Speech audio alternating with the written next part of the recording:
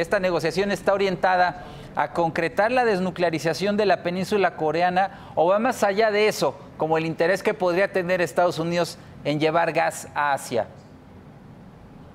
Mira, eh, lo acabas de decir en forma correcta. el interés que tiene Estados Unidos es llevar el gas natural licuado a, lo que es el continente asiático a través de Corea del Sur y Corea del Norte. Acuérdate que hoy en día, a partir del año 2015, se estaba construyendo un ducto que llegaría hasta China. ¿Y esto qué es lo que vamos a ver? Hoy en día, viste eh, los aranceles que estaba como promoviendo China, en donde los 16 millones restantes de los 34 que están hoy en día, está contemplado el petróleo, el carbón, y, la gasolina, pero no está incluido el gas natural licuado. Esto nos indica que Estados Unidos está tratando de afianzar el mercado asiático, sobre todo China, que es un alto consumidor de gas, de gas natural.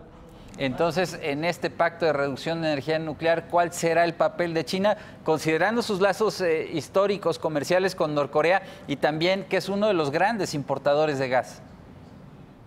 Sí, eh, lo que vamos a ver es que eh, Corea del Norte va a ser el que va a influir en, los próximos años, sobre todo en el paso del gas natural hacia China y va a haber una, vamos a decir, un, reacomodo energético en la parte asiática, donde Rusia, hoy en día, donde están pasando los ductos a través de Siria, se va a quedar con el mercado europeo y Estados Unidos, la tendencia que tiene pues, conforme al incremento de producción que tiene en lo que es Shell Gas, va a tratar de sacar la mayor de producción de gas natural a través del Pacífico que llegue a China por el alta demanda que tiene hoy en día.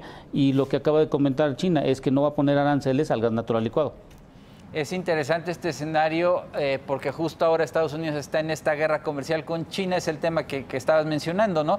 Que a su vez le va a imponer aranceles al carbón, al petróleo y a la gasolina, ¿no? Sí, y al crudo también le van a poner ciertos aranceles. De los 50 que anunció China, de los 16 restantes que están visualizando, en eso ha comentado China hoy en día. Eh, podríamos decir, Ramsés, que Estados Unidos quiere poner a prueba su capacidad para influir en el mercado energético y en esa condición en los precios del petróleo.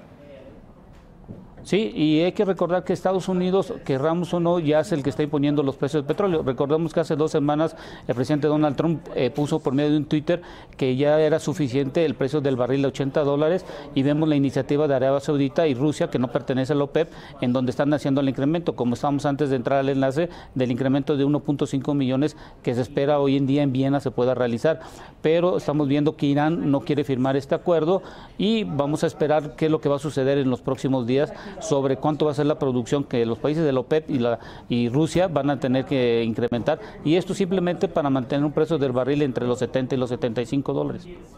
Aprovechando la comunicación contigo, Ramsés, la semana pasada aquí en México un tribunal falló a favor de incrementar de 5.8 a 10% el volumen de etanol como oxigenante de gasolinas en las principales ciudades del país. ayúdanos a entender este fallo, ¿de qué se trata? Eh, en la norma 016 que se emitió, si no más recuerdo, hace un año, eh, incrementaba de 5.8 al 10% y ciertos eh, productores emitieron una, un, un amparo para parar esta, la norma 016. La CRE promovió, la Comisión Regular de Energía promovió y se fueron a juicio y lo que nos data de esto es que ya podemos tener gasolinas hasta el 10% de etanol.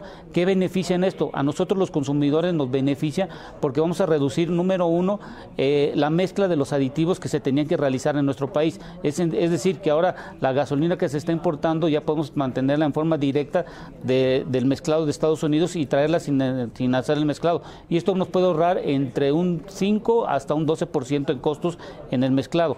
Y esto también nos va a ayudar sobre todo para la, eliminación del MTBE que, se utiliza todavía en algunos, en algunos este, porcentajes de gasolina en nuestro país y esto nos va a ayudar a eliminar la contaminación y va a beneficiar sobre todo a los motores. Eh, así como hay beneficios que mencionas, también debe haber desventajas o perjuicios, no sé.